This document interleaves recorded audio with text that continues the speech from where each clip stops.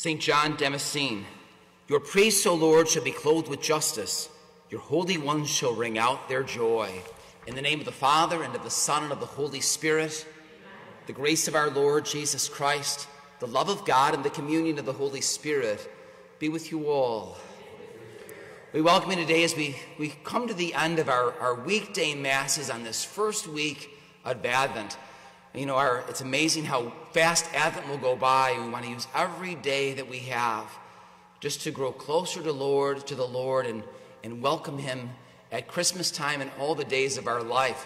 Today we celebrate St. John Damascene, who had a, a great devotion to the icons of the church. And so, if you've ever seen an icon, it's a painting or a religious type of um, uh, figurine to show um, the beauty of, of the saints that have passed or of Christ. Um, anything dealing with icons, today is the one that fought for them and fought for their value. He's one of the ones that wrote a book on the Greek fathers and is also known for his poetry. My brothers and sisters, let us acknowledge our sins and so prepare ourselves to celebrate these sacred mysteries. You were sent to heal the contrite of heart. Lord, have mercy. You came to call sinners. Christ, have mercy. You are seated at the right hand of the Father to intercede for us. Lord, have mercy. May Almighty God have mercy on us, forgive us our sins, and bring us to everlasting life. Let us pray.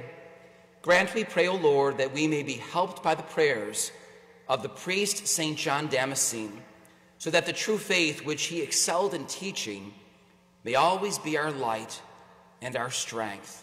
Through our Lord Jesus Christ, your Son, who lives and reigns with you in the unity of the Holy Spirit, one God forever and ever.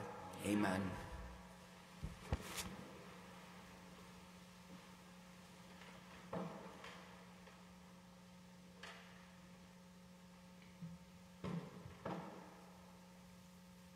A reading from the book of the prophet Isaiah.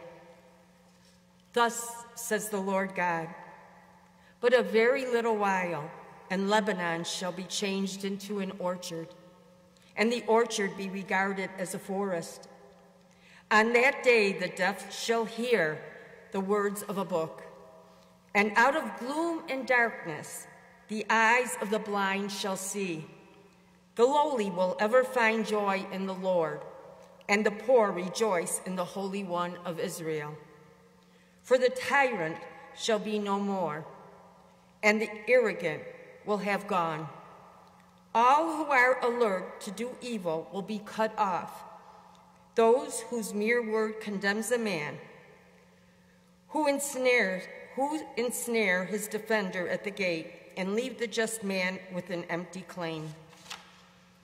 Therefore, thus says the Lord, the God of the house of Jacob, who redeemed Abraham. Now Jacob shall have nothing to be ashamed of, nor shall his face grow pale. When his children see the work of my hands in his midst, they shall keep my name holy.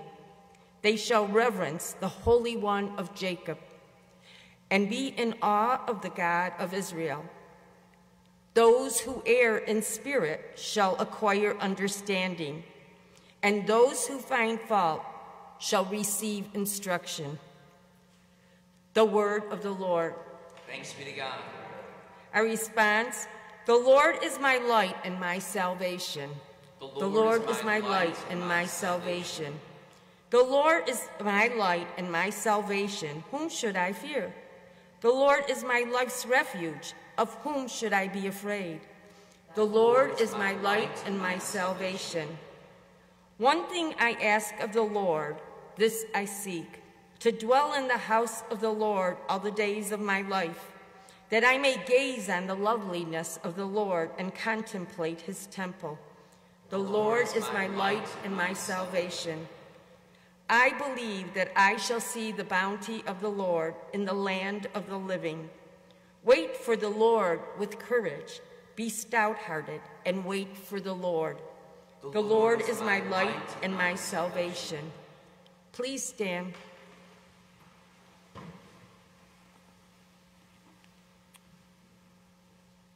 Alleluia, Alleluia, Alleluia, Alleluia, Alleluia, Alleluia, Alleluia, Alleluia.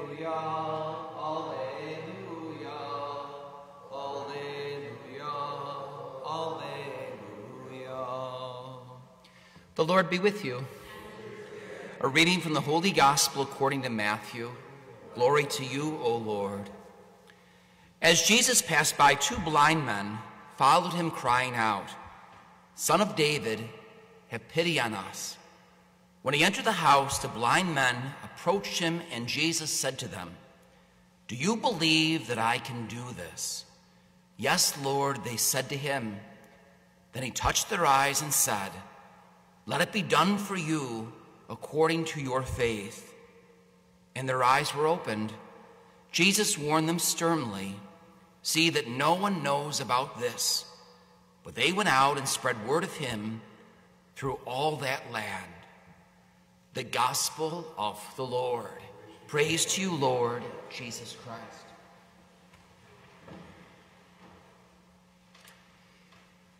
December is kind of a month where it can be very dark and we can have various snowstorms and even that just even start, you know, and, and snow that comes and it becomes almost a dead time of the year, although we wait in hopefulness. And it can be a time that people talk about seasonal problems that they have, you know, and, and struggles that they have with Advent time. But the beauty of this scripture is all about seeing and allowing God to conquer our fears. An interesting time. I had a funeral Wednesday I have a funeral today. That's why there's no Eucharistic adoration. I have a funeral tomorrow at St. John Vianney. And on Sunday night, I do a chapel service for another funeral. And I can tell you two other people that died. Very unusual week to me. And I could say, wow, it's dark, right? And I can feel that way. I did the um, vigil prayers at Sam's wake on Tuesday night, and our responsorial psalm was, was this Psalm 27 any wake you ever go to, today's responsorial psalm, that's the one. I did the same responsorial psalm last night at about 4.30, 5 o'clock at, at Amigone. Tonight I'll be at Canaan's doing this exact psalm about quarter to 7 tonight, and then on, two, on Sunday night as well. And it, it shows us all that even in the darkness, Christ is our light. That's why the responsorial psalm reads, The Lord is my light and my salvation. And as that psalm opens, it says, Whom should I fear?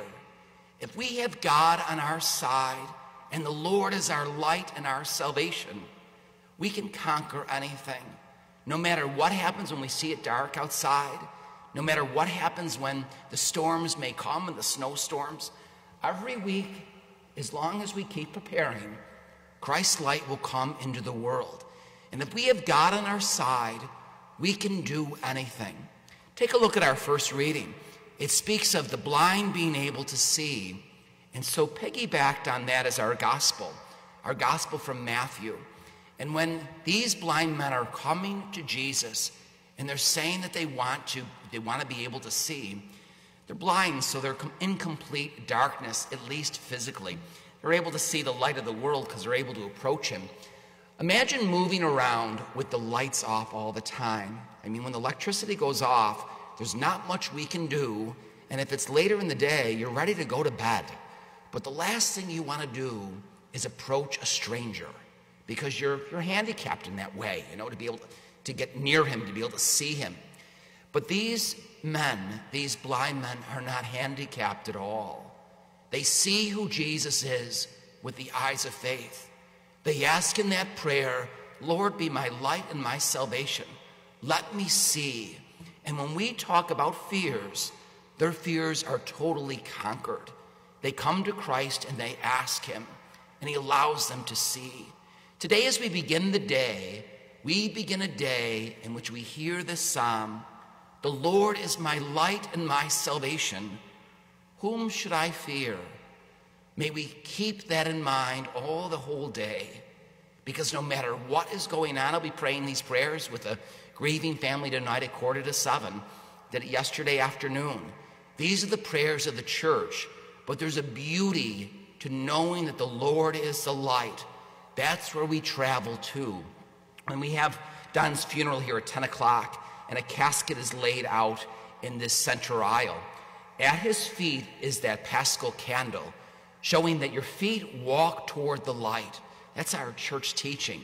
If it was a priest, it's reversed the opposite way, because the priest who's deceased is actually in celebrating the Mass or celebrating the Mass in that banquet table. But to a, a lay person, their feet are right by that paschal candle, and it shows that's the way we want to walk in life and also in death, in this world and in the next.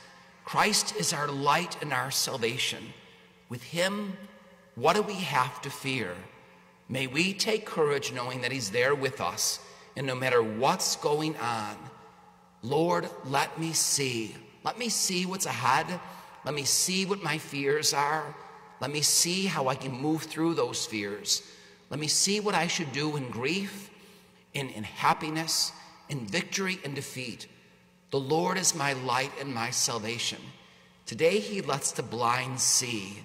May we work on our own lives, and wherever we're blind, wherever we're blind, may we come to the light. Please rise now for the intercessions. As servants, we now bring our prayers before the Lord, knowing that in peace, God can provide all that we need. For the church and all the faithful throughout the world, for you and I, may we continue to grow in a holiness and a unity and build up that body of Christ, starting with ourselves, moving to our family, directing it toward our church, and building up our world we pray to the Lord. That the gospel of our Lord Jesus Christ and the good news of his coming at Christmas and also at this Mass may spread to all ends of the earth, we pray to the Lord. That the spirits of the lonely, the discouraged, those that grieve the loss of another, um, those that are on their, their last day today, may they be uplifted by the assurance of God's love in God's compassion for us all, we pray to the Lord. We pray for our parish sick list, all those in need of our prayers. We pray for the families of, of funerals that have taken place here, that are, that are upcoming, that have happened in the past, those that grieve the loss of another. We pray for people affected with the coronavirus, first responders and protectors of them, those in hospitals and nursing homes, those that care for them. May we all know of God's healing grace this Advent season and all the days of our life. We pray to the Lord. That Christ may have a place in our hearts and homes, and all those gathered here today, we pray to the Lord. For those who have died, today we remember in a special way Anna and Sylvester Braunscheidel. May they and all the faithful departed through the mercy of God, may they dwell in his house for all eternity. We pray to the Lord. And for those prayers that we voice now in the silence of our hearts.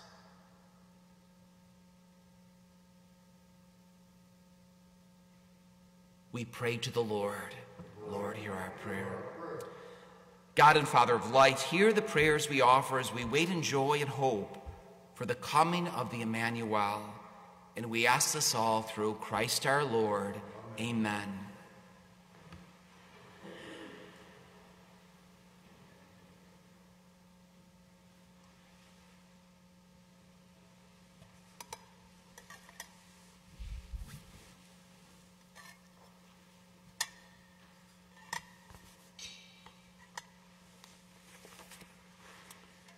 Blessed are you, Lord God of all creation.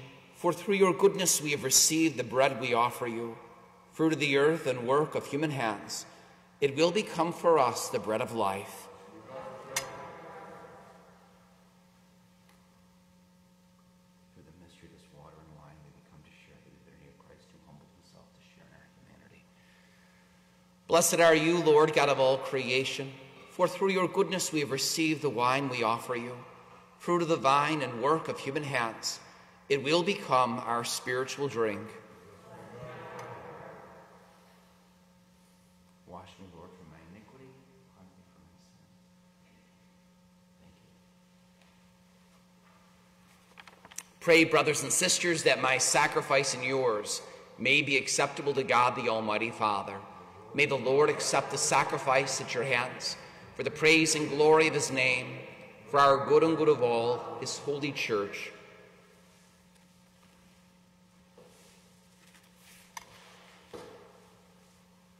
Receive, O Lord, we pray, the offerings placed on your altar in commemoration of blessed John Damascene so that as you brought him glory, you may, through these sacred mysteries, grant to us your pardon through Christ our Lord.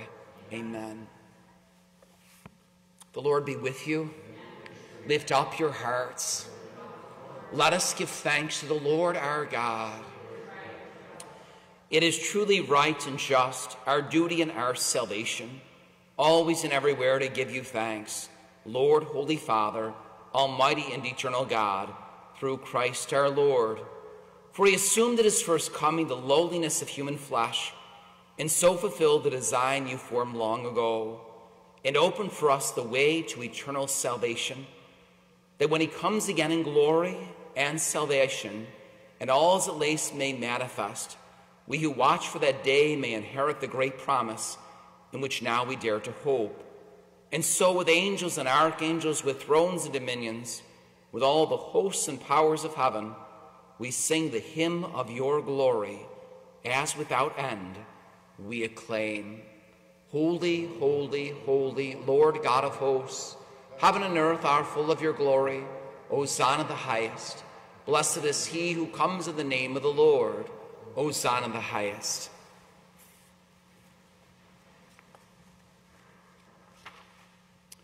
praying the Advent prayer of reconciliation number one. If you have a missalette, it's found on page 23. You are indeed holy, O Lord, and from the world's beginning are ceaselessly at work, so that the human race may become holy, just as you yourself are holy. Look, we pray, upon your people's offerings, and pour out on them the power of your Spirit, that they may become the body and blood of your beloved Son, Jesus Christ in whom we too are your sons and daughters. Indeed, though we once were lost and could not approach you, you loved us with the greatest love for your Son, who alone is just, handed himself over to death, and did not disdain to be nailed for our sake to the wood of the cross. But before his arms were outstretched between heaven and earth to become the lasting sign of your covenant, he desired to celebrate the Passover with his disciples. As he ate with them, he took bread, and giving you thanks, he said the blessing, broke the bread, and gave it to them, saying, Take this, all of you, and eat of it, for this is my body, which will be given up for you.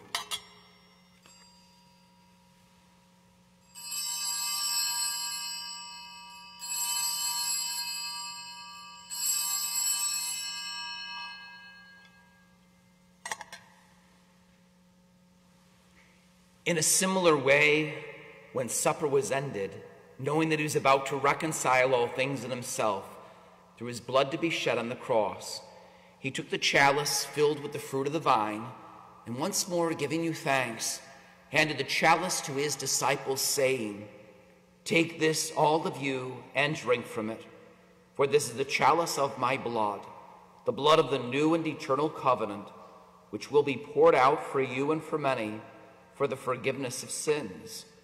Do this in memory of me.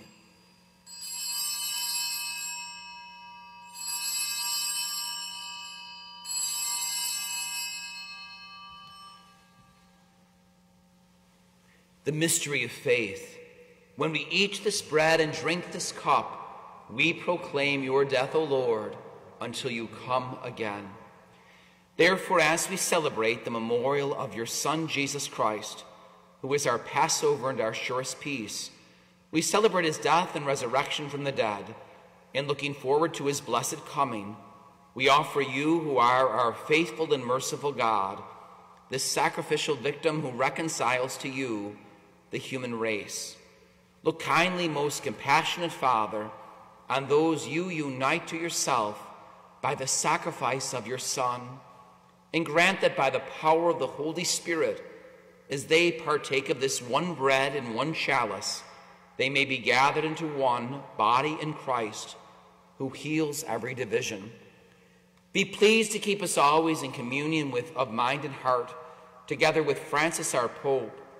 Help us to work together for the coming of your kingdom until the hour when we stand before you, saints among the saints, in the halls of heaven with the Blessed Virgin Mary, Mother of God, with Blessed Joseph, her spouse, the blessed apostles and all the saints, and with our deceased brothers and sisters, whom we humbly commend to your mercy, then freed at last from the wound of corruption and made fully into a new creation, we shall sing to you with gladness the thanksgiving of Christ, who lives for all eternity. Through him and with him and in him, O God, Almighty Father, in the unity of the Holy Spirit, all glory and honor is yours forever and ever. Amen.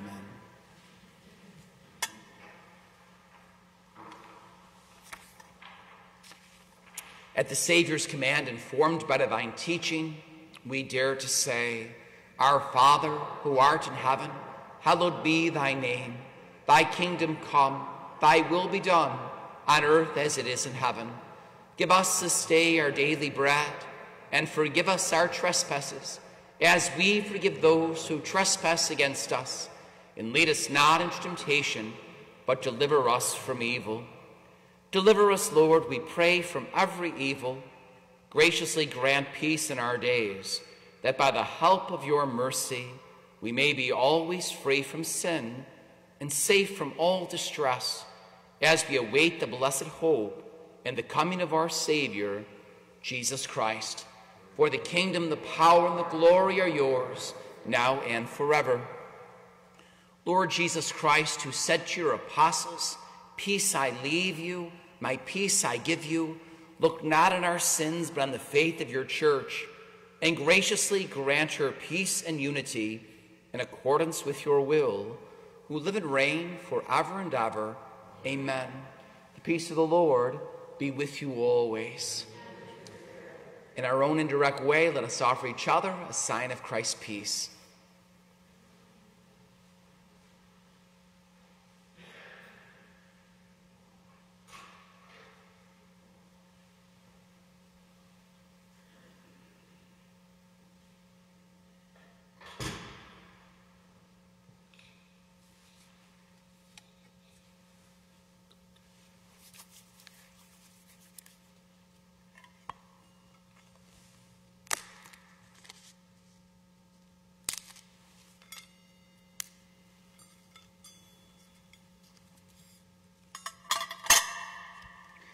Lamb of God, you take away the sins of the world, have mercy on us. Lamb of God, you take away the sins of the world, have mercy on us. Lamb of God, you take away the sins of the world, grant us peace.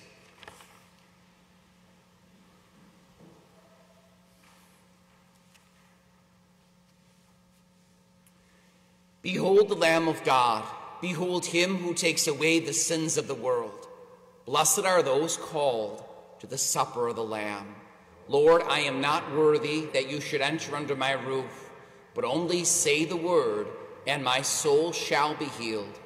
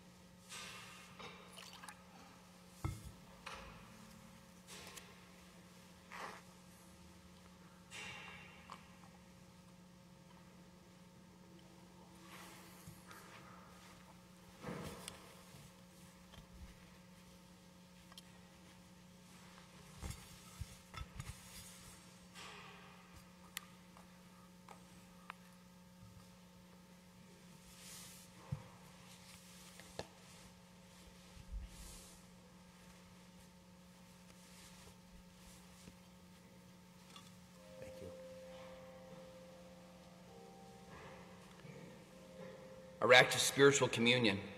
My Jesus, I believe that you are present in the most holy sacrament. I love you above all things, and I desire to receive you in my soul. Since I cannot at this moment receive you sacramentally, come at least spiritually into my heart. I embrace you as if you were already there and unite myself wholly to you. Never permit me to be separated from you.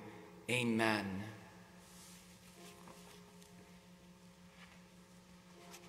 Blessed is the servant whom the Lord finds watching when he comes. Amen, I say to you, he will put that servant in charge of all his property. Let us pray. May partaking at the heavenly table, Almighty God, confirm and increase strength from on high. And all who celebrate the feast day of blessed John, St. John Damascene, that we may preserve in integrity the gift of faith and walk in the path of salvation you trace for us through Christ our Lord. As a reminder today, we will not have Eucharistic adoration from 9 to 12 because there's a funeral for Donald Weiss, which will take place at 10 this morning. This weekend, when you come to Mass, our Mass schedule is as normal, um, just social distancing and Mass that are required. We will um, also do a blessing of ornaments, and if you could bring an extra ornament and place on our tree, we'll people to help you put them on the tree, and it's a way of just bringing in an Advent season that's always on the cusp of a Christmas season. But if we don't do the tree starting, we'll, we'll never have an opportunity to enjoy it for the Christmas season. The Lord be with you. May Almighty God bless you, the Father and the Son and the Holy Spirit. Amen. Go in peace, glorifying the Lord by your life. Thanks be to God.